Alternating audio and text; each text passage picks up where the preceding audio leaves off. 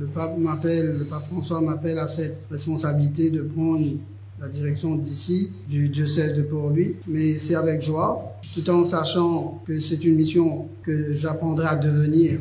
Je ne suis pas né évêque, j'apprendrai à devenir évêque. J'apprendrai autant ici avec les frères prêtres, avec chaque personne, mais aussi avec chaque Mauricien.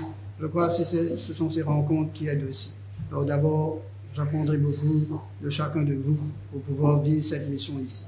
Nous sommes différents culturellement. Les prêtres, vous voyez bien dans notre église, nous sommes de multiculturels, de différentes origines, origine française, origine indienne, origine. Donc, moi, je suis plutôt d'une famille où ma grand-mère était musulmane. Il y a une partie de ma famille encore où il y a des musulmans et des catholiques. J'ai grandi ainsi, parmi, dans une société à Bakoa, une culture où il y avait très peu de catholiques. J'étais entouré d'enfants et jeunes, amis, musulmans, catholiques, tamouls.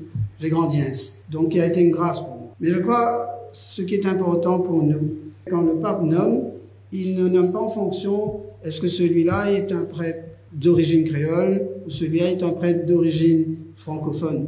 Le but, c'est que est-ce que celui qui est nommé pourra faire la communion, l'unité, à la fois dans l'Église et dans la société mauricienne. Est-ce que c'est un homme d'unité? Je crois que nous avons eu deux grands évêques, eux, de communautés blanches, mais qui ont été des hommes d'unité. Monseigneur Jean Mangéo et le cardinal Maurice Piat, des hommes d'unité qui ont, moi je suis frappé à chaque fête, pour chaque fête, que ce soit Diwali, pour chaque fête d'Idolfi, chaque fête des autres communautés religieuses, Monseigneur Piat écrit un message. Je crois que c'est très frappant.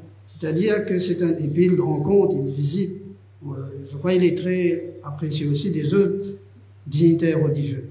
Donc dans ce sens-là, je crois, au-delà de la personne, de sa culture, et est-ce que c'est un homme qui va vers? Je crois que c'est cela que, pour moi aussi, je ne suis pas nommé évêque pour me dire je serai l'évêque des créoles.